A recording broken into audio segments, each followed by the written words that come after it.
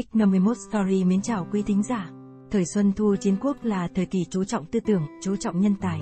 Rất nhiều nhà quân sự tài ba, nhà tư tưởng nỗi lạc của Trung Hoa xuất hiện trong thời kỳ này. Cuối thời kỳ Chiến Quốc, Tần Quốc càng ngày càng hùng mạnh. Các chư hầu, quý tộc vì để cứu vãn sự suy sụp của đất nước đã tận lực chiêu mộ nhân tài. Họ chiêu hiền đại sĩ, bồi dưỡng trí thức, bao gồm người có học, người mưu lược, người cầu tiên học đạo, nho sĩ, thuật sĩ. Lúc ấy, kẻ sĩ nổi tiếng có mạnh thường quân của nước Tề, tín Lăng quân của nước Ngụy, Bình Nguyên quân của nước Triệu và Xuân Thân quân của nước Sở. Người đời sau xưng họ làm chiến quốc tứ công tử. Sau đây X51 Story sẽ cùng quý thính giả tìm hiểu về vị công tử nước Tề, Mạnh Thường Quân. Mạnh Thường Quân là một trong bốn công tử nổi tiếng nhất thời chiến quốc, ông tên là Điền Văn, phong hiệu Mạnh Thường Quân. Phụ thân ông là Tĩnh Quách Quân Điền Anh, là tông thất của nước Tề, khi đó đã có hơn 40 người con trai rồi. Mẫu thân của Điền Văn là một tiểu thiếp của Điền Anh, sinh ra Điền Văn vào ngày 5 tháng 5. Khi Mạnh Thường Quân được sinh ra, phụ thân Điền Anh lại không hề vui mừng một chút nào, trái lại, ông còn nói với mẫu thân Mạnh Thường Quân rằng, vứt đứa bé này đi, không được nuôi dưỡng nó. Nhưng mẫu thân của Mạnh Thường Quân vẫn lén nuôi nấng cậu. Khi Mạnh Thường Quân lớn lên một chút, mẫu thân thông qua những huynh đệ của Mạnh Thường Quân dẫn cậu đến gặp phụ thân Điền Anh. Thấy Mạnh Thường Quân, Điền Anh tức giận nói với mẫu thân cậu rằng, ta bảo cô đem đứa trẻ này vứt đi, cô lại dám nuôi dưỡng nó là sao? Mẫu thân Mạnh Thường Quân còn chưa trả lời thì Mạnh Thường Quân đã nhanh chóng khấu đầu trước phụ thân, sau đó hỏi phụ thân rằng Thưa phụ thân đại nhân, phụ thân không cho mẫu thân nuôi dưỡng con, đứa trẻ sinh vào tháng 5, là vì sao? Điền Anh trả lời, hừm, ngươi là đứa trẻ sinh tháng 5, đến khi lớn lên cao bằng nóc cổng, thì trong mệnh chú định khắc phụ hại mẫu. Mạnh Thường Quân nghe xong, thong thả nói, thế thì xin hỏi phụ thân đại nhân, vận mệnh con người là do trời ban hay do nóc cổng quyết định? Cái này, cái này, cái này, Điền Anh nhất thời tắc họng, lắp ba lắp bắp không biết trả lời thế nào. Mạnh thường quân nói tiếp, nếu vận mệnh do trời ban cho, thì phụ thân hà tất phải lo lắng. Nếu là do nóc cổng quyết định, thế thì chỉ cần nâng cao cổng lên một chút, chẳng phải là giải quyết được rồi đó sao, sao có thể cao đến mức đó được. Điền Anh không có lời nào đối đáp lại được, hồn hển quát mắng, nhóc con, cầm miệng. Một lát sau, Mạnh Thường Quân nói, thưa phụ thân đại nhân, phụ thân nắm đại quyền, đảm nhận chức tể tướng nước tề, đến nay đã trải qua ba đời quân vương, có thể nói là bậc nguyên lão nước tề. Nhưng lãnh thổ nước tề không mở rộng thêm chút nào, mà tài sản nhà ta tại tích trữ vạn lượng vàng, môn hạ lại chẳng có một kẻ sĩ hiền năng. Thưa phụ thân đại nhân, thế thiếp của phụ thân có thể tùy ý mặc lụa là, mà hiền sĩ thì ngay cả áo ngắn vải thô cũng không có mà mặc. Nam bộc nữ tỳ của phụ thân ăn thịt không hết, còn những hiền sĩ thì ăn cám, rau cũng không đủ no. Phụ thân vẫn còn ra sức vơ vét tài sản, muốn để lại cho con cháu đời sau, mà quên rằng quốc gia đang ngày ngày thất thế xa sút Than ôi, là người làm con, con cũng cảm thấy rất lạ thường. Chà, một đứa trẻ mới tí tuổi đầu mà lại có tầm nhìn như thế này, quả là niềm hy vọng của gia tộc họ Điền nhà ta. Từ đó, Điền Anh thay đổi thái độ với Mạnh Thường Quân, bắt đầu coi trọng cậu để cậu chủ trì gia tránh, tiếp đãi tân khác. Dưới sự trị sửa của Mạnh Thường Quân, tân khách nhà họ Điền ngày càng nhiều, danh tiếng của Mạnh Thường Quân cũng lan truyền đến khắp các nước chư hầu. Các nước chư hầu đều phái người đến nói giúp cho Mạnh Thường Quân, thỉnh cầu Điền Anh lập Mạnh Thường Quân làm thế tử. Điền Anh trong tâm cũng rất vui mừng, nên đã đồng ý. Sau khi Điền Anh qua đời, Mạnh Thường Quân kế thừa tước vị của Điền Anh, tức Tiết Công, thực ấp là Tiết Thành.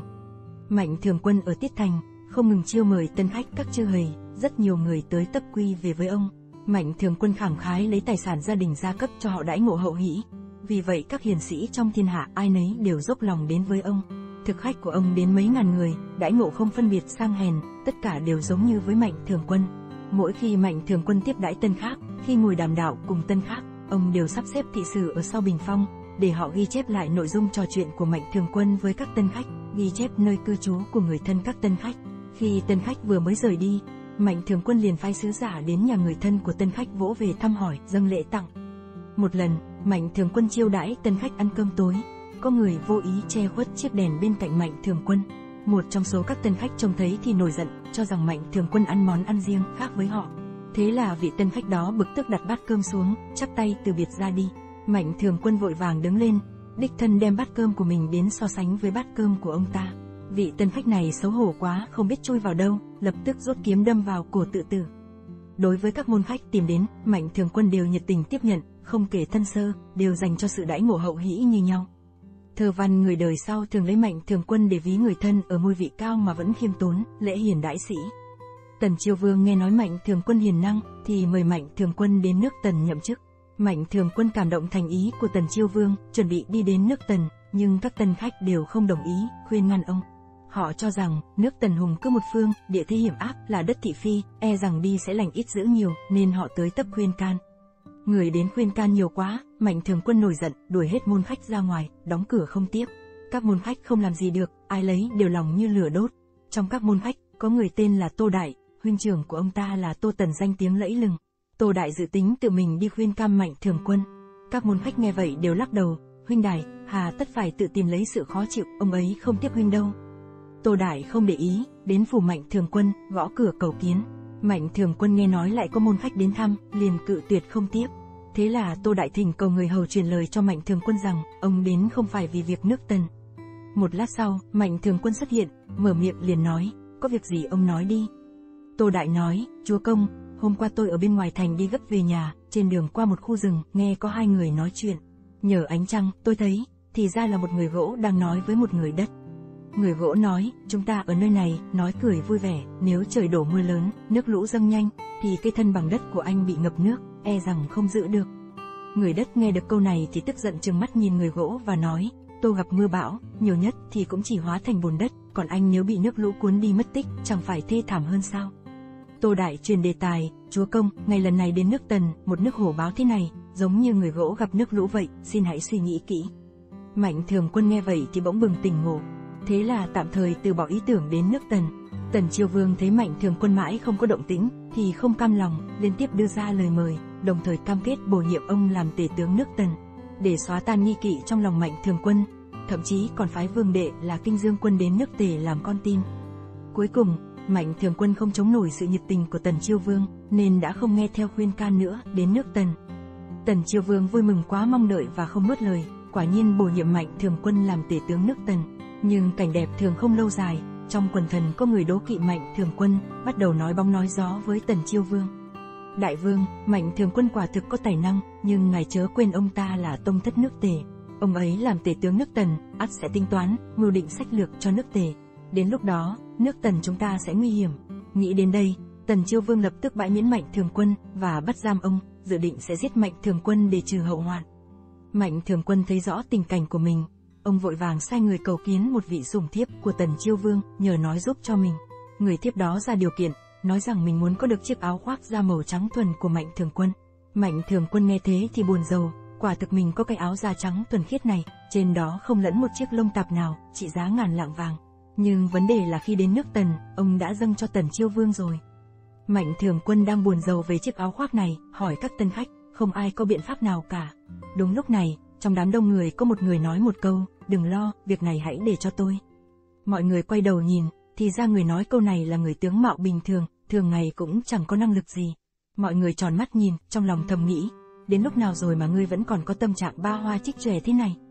Vị môn khách này cũng không đáp lời, lấy ra một tấm da chó rồi khoác lên người, hóa trang thành một con chó, rồi chui vào trong kho trong cung vua Tần. Không lâu sau, anh ta đã lấy trộm được chiếc áo khoác da đem về, giải nguy cho mạnh thường quân.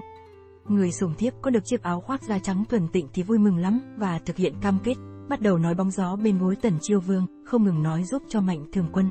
Tần Chiêu Vương nghe bùi tai, bèn thả Mạnh Thường Quân ra. Mạnh Thường Quân biết nước Tần là mảnh đất thị phi, không nên ở lại lâu, lập tức lên xe, đánh ngựa nhanh chóng chạy trốn khỏi nước Tần. Cuối cùng, đến nửa đêm thì chạy đến hàm cốc quan. Thấy mình chạy thoát mạng chỉ còn một bước nữa thôi. Theo quy định, quân Tần canh giữ quan ải chỉ mở cửa quan khi trời đã lờ mờ sáng, nghe tiếng gà gáy thì mới mở cửa quan để hành khách qua lại. Lúc này đến khi trời sáng còn mấy canh giờ nữa. Mạnh thường quân lo lắng, lúc này nếu tần chiêu vương thay đổi chủ ý, sai quân đuổi theo thì làm thế nào, vì vậy lòng như lửa đốt. Đúng lúc nguy cấp này, trong đám tân khách lại có người lên tiếng, tôi có biện pháp.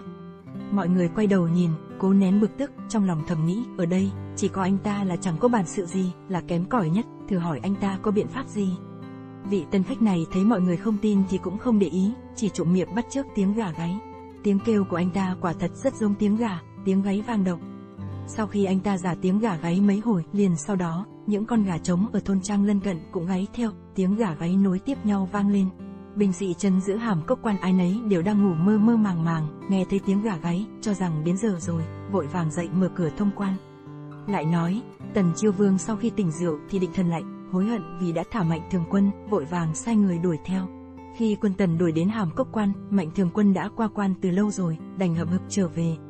Ban đầu, khi Mạnh Thường Quân tiếp nhận hai người này, mọi người đều cho rằng họ là kẻ trộm gà trộm chó, vô học bất tài, cùng hàng ngũ với họ thì thật mất mặt. Hôm nay, khi Mạnh Thường Quân gặp kiếp nạn ở nước Tần, lại dựa vào hai người này để thoát thân, nên mọi người không ai còn xem thường kẻ trộm gà trộm chó nữa. Mọi người đều khâm phục Mạnh Thường Quân có tấm lòng rộng lớn, chiều nạp rộng tân khách, không phân biệt cao thấp sang hèn. Nước tề có một người tên là Phùng Huyên, trên người không có một xu, nghèo kiết xác, không cách nào tự nuôi sống mình, bèn đi giày cỏ từ phương xa tìm đến, muốn làm thực khách của Mạnh Thường Quân. Mạnh Thường Quân thấy vậy bèn hỏi, không biết tiên sinh có sở trường gì? Phùng Huyên trả lời đơn giản, thô thiển, thứ nhất, không có sở trường gì, thứ hai, cũng không có tài nghệ gì.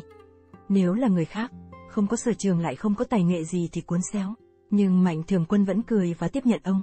Những người hầu của Mạnh Thường Quân cho rằng, Phùng Huyên là kẻ ăn mày nghèo khổ, nên lấy cơm và đồ ăn thô đem cho ông ăn. Không lâu sau, Phùng Huyên dựa cột, dùng ngón tay gõ vào thanh kiếm dài của mình và hát. Kiếm giải à, chi bằng về đi thôi, ở đây ăn cơm không có cá. Những người hầu nghe vậy thì coi đây là chuyện cười và kể lại với Mạnh Thường Quân. Không ngờ Mạnh Thường Quân lại nói, cho ông ấy ăn cá, hãy đối đãi với ông ấy theo tiêu chuẩn của môn khách. Không lâu sau, Phùng Huyên lại gõ thanh kiếm dài và hát, kiếm dài à, trở về đi, ra ngoài không có xe đi. Những người hầu đều cười ông, Mạnh Thường Quân nghe được chuyện này lại nói, hãy sắp xếp xe cho ông ấy theo tiêu chuẩn xe của môn khách. Phùng Huyên ngồi xe dơ cao thanh kiếm đi bái kiến bạn bè của mình và nói, Mạnh Thường Quân giờ ở đây đã coi tôi như tân khách rồi. Không lâu sau, Phùng Huyên lại gõ kiếm hát, kiếm giải à, trở về đi, ở đây không có cách gì nuôi dưỡng gia đình. Những người hầu đều cảm thấy rằng Phùng Huyên lòng tham vô đáy và bắt đầu chán ghét ông. Mạnh Thường Quân bèn hỏi, tiên sinh còn có phụ mẫu à? Phùng Huyên nói, ở nhà còn có mẹ già. Mạnh Thường Quân bèn phái người đem lượng lớn đồ ăn mặc cho mẹ Phùng Huyên, để bà không còn phải thiếu ăn thiếu mặc nữa.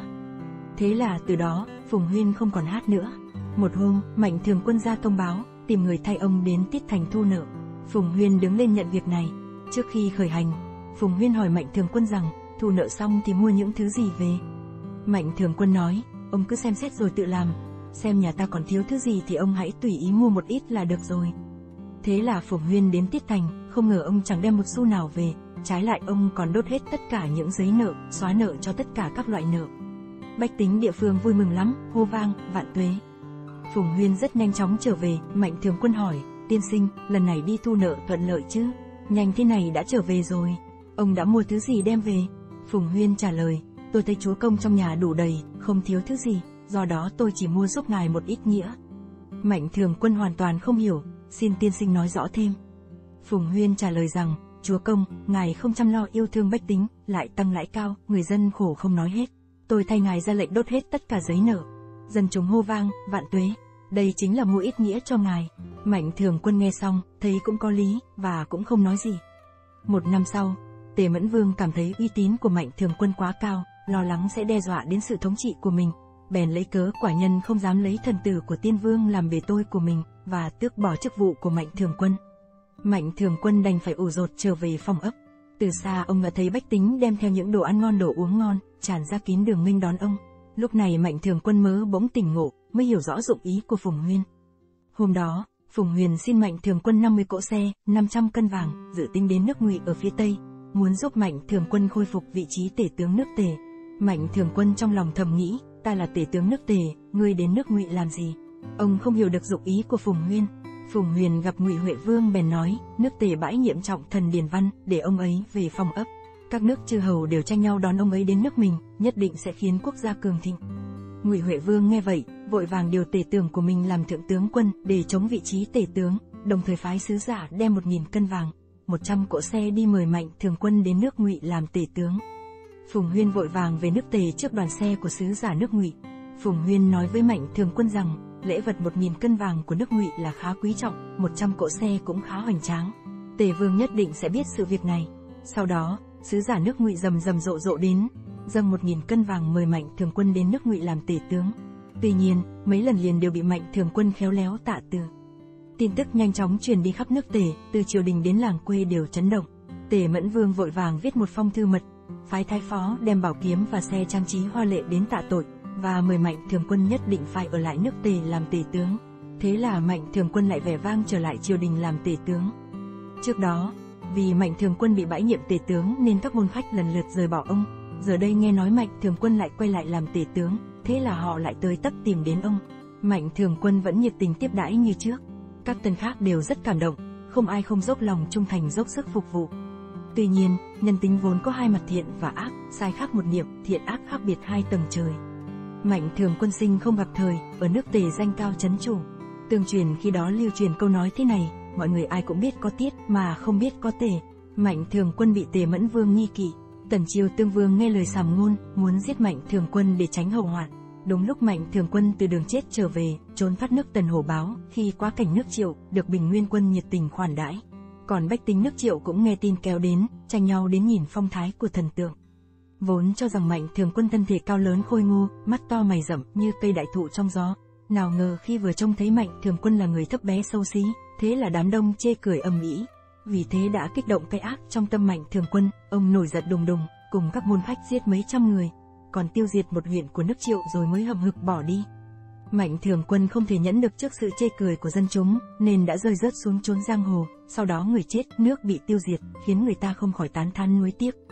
Vì thế đánh giá của mọi người đối với mạnh thường quân từ đỉnh cao tụt xuống vực sâu, từ bậc đại quân tử đã được so sánh như một kẻ giang hồ. Chúng tôi xin kết thúc bài chia sẻ của mình tại đây. Xin chân thành cảm ơn các bạn đã dành ra thời gian quý giá để lắng nghe bài chia sẻ này. Xin kính chúc quý thính giả cùng gia đình luôn luôn hạnh phúc, thành công và bình an trong cuộc sống.